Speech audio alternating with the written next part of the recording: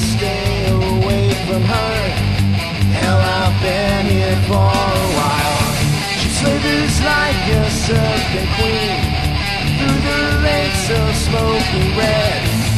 What am I still doing here? What's going on inside my head?